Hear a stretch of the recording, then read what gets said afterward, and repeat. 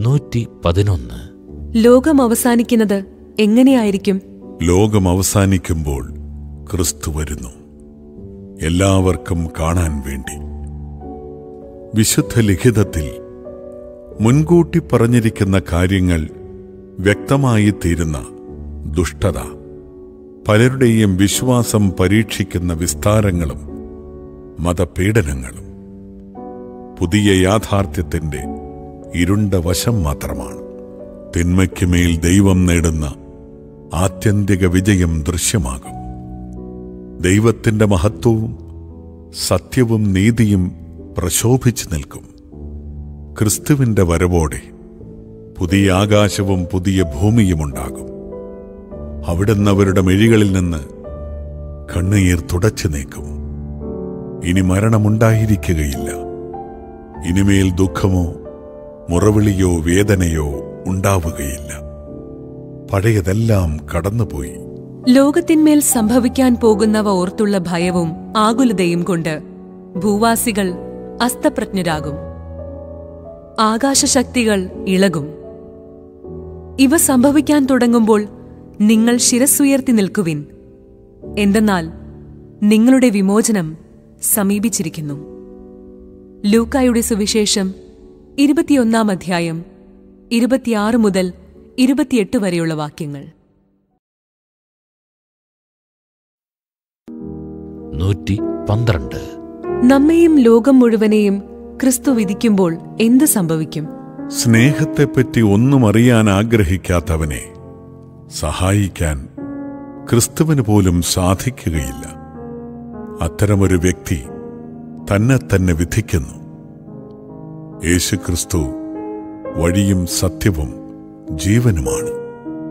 അതുകൊണ്ട് ദൈവ തിരുമുൻപിൽ എന്നേക്കും വിലയുള്ളത് എന്താണെന്നും വിലയില്ലാത്തതെന്താണെന്നും അവിടുന്ന് കാണിക്കും.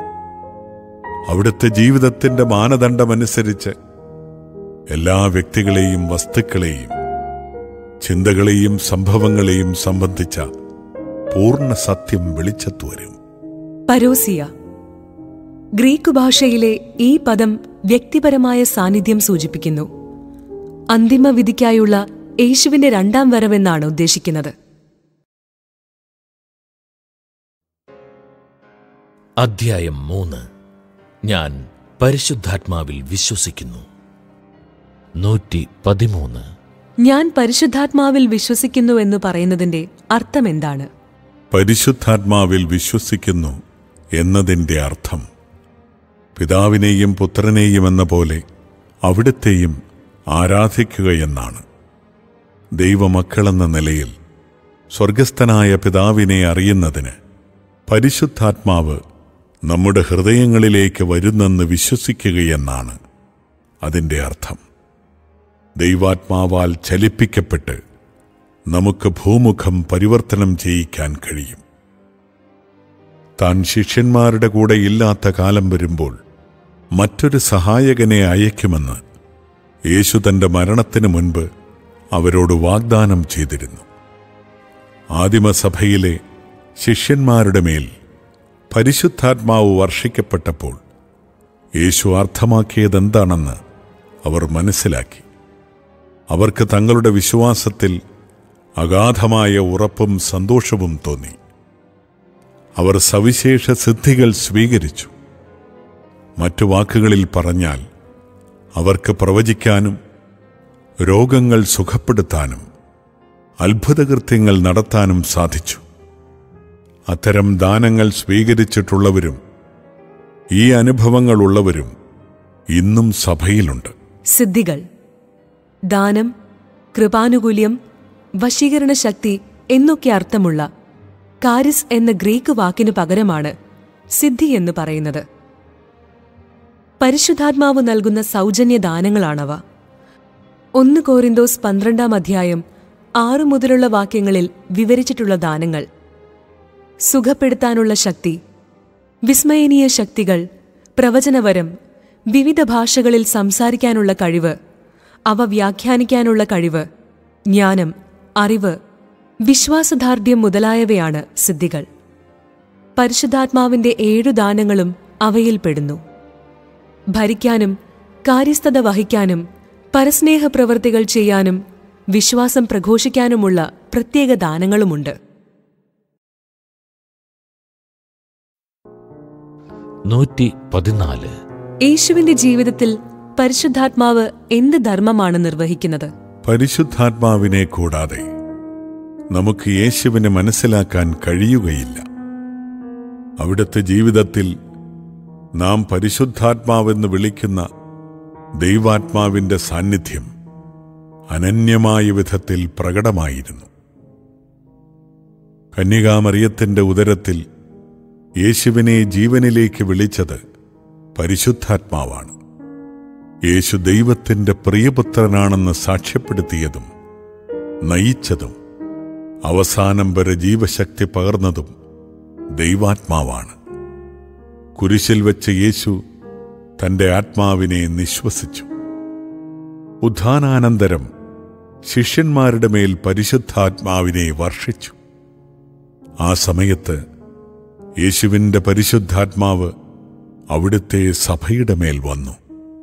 പിതാവെന്നെ അയച്ചതുപോലെ നിങ്ങളെ ഞാൻ അയക്കുന്നു. യേശുക്രിസ്തുവിൽ ദൈവം തന്നെ മനുഷ്യനായി. അങ്ങനെ ദൈവത്തിന്റെ ഗാഠസൗഹൃദം ഒരു നോക്കു കാണാൻ നമ്മെ അനുവദിച്ചുവെന്ന് പറയാം. അവിടെ തികച്ചും അപ്രതീക്ഷിതമായ ഒരു വസ്തുത കാണുന്നു. നിഗൂഢനായ ദൈവം അനന്തമായ ഏകാന്തതയല്ല. സ്നേഹത്തിന്റെ ഒരു സംഭവമാണ്. പിതാവിനോട് സംസാരിക്കുന്ന പുത്രനുണ്ട്. അവർ പരിശുദ്ധാത്മാവിൽ ഒന്നാണ്. അവരെ ഏകദൈവമാക്കുന്ന ദാനത്തിന്റെയും സ്നേഹത്തിന്റെയും അന്തരീക്ഷം പരിശുദ്ധാത്മാവ് സൃഷ്ടിക്കുന്നു. ബെനഡിക്ട് പതിനാറാമൻ മാർപ്പാപ്പ. യേശു കർത്താവാണെന്ന് പറയാൻ പരിശുദ്ധാത്മാവ് മുഖേനയല്ലാതെ ആർക്കും സാധിക്കുകയില്ല. ഒന്ന് കോരിന്തോസ് പന്ത്രണ്ടാം അധ്യായം മൂന്നാം വാക്യം. നൂറ്റി പതിനഞ്ച്. ഏതു പേരുകളിലും അടയാളങ്ങളിലുമാണ് പരിശുദ്ധാത്മാവ് പ്രത്യക്ഷപ്പെടുന്നത്. പരിശുദ്ധാത്മാവ് പ്രാവിന്റെ രൂപത്തിൽ യേശുവിന്റെ മേൽ ഇറങ്ങി വന്നു. ആദിമ ക്രൈസ്തവർ പരിശുദ്ധാത്മാവിനെ സൗഖ്യദായകമായ തൈലം സജീവജലം ശക്തമായ കൊടുങ്കാറ്റ് ജ്വലിക്കുന്ന അഗ്നി എന്നിങ്ങനെ വിവിധ രൂപങ്ങളിൽ അനുഭവിച്ചു. യേശു തന്നെ ആലോചനക്കാരൻ ആശ്വാസദായകൻ അധ്യാപകൻ സത്യത്തിന്റെ ആത്മാവെന്നൊക്കെ പറയുന്നു. സഭയുടെ കൂതാശകളിൽ കൈവയ്പ് വഴിയും തൈലം പൂശൽ വഴിയും പരിശുദ്ധാത്മാവിന് നൽകുന്നു. ജലപ്രളയത്തിന് ശേഷം ദൈവം മനുഷ്യവംശവുമായുള്ള തന്റെ ഉടമ്പടിയിൽ സ്ഥാപിച്ച സമാധാനത്തിന്റെ സൂചന നോഹയ്ക്ക് നൽകിയത് ഒരു പ്രാവിന്റെ പ്രത്യക്ഷപ്പെടൽ വഴിയാണ്. പൗരാണിക കാലത്തെ അക്രൈസ്തവരും പ്രാവിനെ സ്നേഹത്തിന്റെ അടയാളമായി കരുതിയിരുന്നു. അതുകൊണ്ട് യേശു ജോർദാനിൽ മാമോദീസാക്കെ സ്വയം വിധേയനായപ്പോൾ വ്യക്തിത്വം പൂണ്ട ദൈവസ്നേഹമായ പരിശുദ്ധാത്മാവ് എന്തുകൊണ്ടാണ് പ്രാവിന്റെ രൂപത്തിൽ വന്നതെന്ന് ആദിമ ക്രിസ്ത്യാനികൾ പെട്ടെന്ന് മനസ്സിലാക്കി. ഇന്ന് ലോകവ്യാപകമായി പ്രാവിനെ സമാധാനത്തിന്റെ അടയാളമായും ദൈവവും മനുഷ്യനും തമ്മിലുള്ള അനുരഞ്ജനത്തിന്റെ പ്രതീകമായും അംഗീകരിച്ചിരിക്കുന്നു.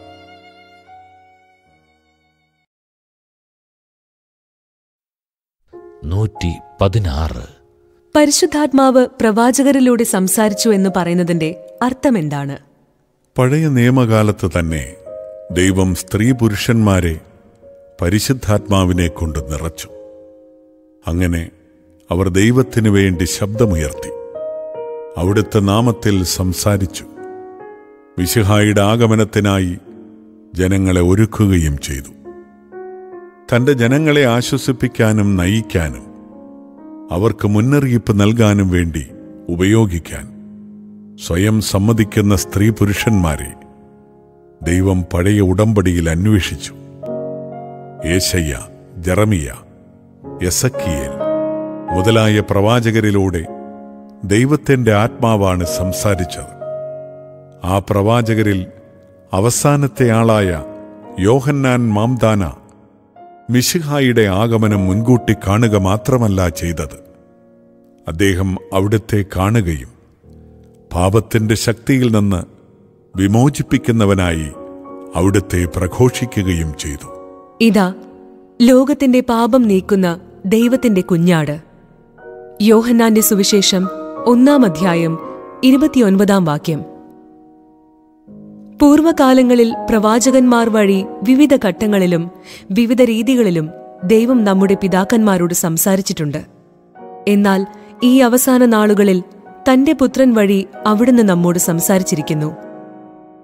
ഹെബ്രായർക്കെഴുതിയ ലേഖനം ഒന്നാം അധ്യായം ഒന്നും രണ്ടും വാക്യങ്ങൾ. നൂറ്റി പതിനേഴ് പരിശുദ്ധാത്മാവിന് മറിയത്തിലും മറിയത്തോടു കൂടെയും മറിയത്തിലൂടെയും എങ്ങനെ പ്രവർത്തിക്കാൻ കഴിഞ്ഞു? മറിയം ദൈവത്തോട് പൂർണമായി പ്രത്യുദ്ധരിക്കുന്നവളും തുറവുള്ളവളുമായിരുന്നു. അങ്ങനെ പരിശുദ്ധാത്മാവിന്റെ പ്രവർത്തനത്തിലൂടെ ദൈവത്തിന്റെ അമ്മയാകാൻ അവർക്ക് കഴിഞ്ഞു. ക്രിസ്തുവിന്റെ അമ്മയെന്ന നിലയിൽ ക്രൈസ്തവരുടെ അമ്മയാകാനും യഥാർത്ഥത്തിൽ മുഴുവൻ മനുഷ്യവംശത്തിന്റെയും അമ്മയാകാനും സാധിച്ചു.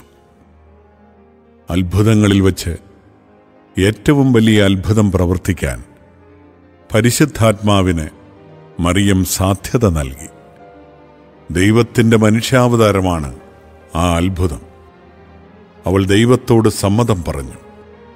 ഇതാ ഞാൻ കർത്താവിന്റെ ദാസി. നിന്റെ വാക്ക് എന്നിൽ നിറവേറട്ടെ. പരിശുദ്ധാത്മാവാൽ ശക്തയാക്കപ്പെട്ട് ഒരു ഘട്ടത്തിലും വ്യതിചലിക്കാതെ അവൾ യേശുവിനോടൊപ്പം കുരിശൻ ചുവടുവരെ പോലും സഞ്ചരിച്ചു. അവിടെ വെച്ച് യേശു നമുക്കെല്ലാവർക്കും അമ്മയായി അവളെ നൽകി. പരിശുദ്ധാത്മാവ് നിന്റെ മേൽ വരും. അത്യുന്നതന്റെ ശക്തി നിന്റെ മേൽ ആവസിക്കും. ലൂക്കായുടെ സുവിശേഷം ഒന്നാം അധ്യായം മുപ്പത്തിയഞ്ചാം വാക്യം. നൂറ്റി പതിനെട്ട് തെന്തക്കോസ്തായിൽ എന്ത് സംഭവിച്ചു?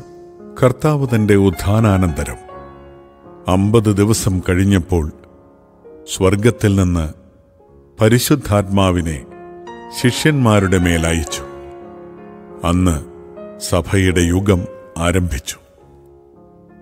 ഭീരുക്കളായിരുന്ന അപ്പസ്തോലന്മാരെ പെന്തക്കുസ്തായിൽ പരിശുദ്ധാത്മാവ് ക്രിസ്തുവിന്റെ ധീരസാക്ഷികളാക്കി. കുറച്ച് സമയം കൊണ്ട് ആയിരങ്ങൾ മാമോദീസ സ്വീകരിച്ചു. അത് സഭയുടെ ജന്മദിനമായിരുന്നു. പെന്തക്കുസ്താ ദിവസം ഭാഷകളുടെ വിസ്മയം നടന്നു. സഭ ആരംഭം മുതൽ എല്ലാ ജനതകൾക്കുമുള്ളതാണെന്ന് അത് കാണിക്കുന്നു.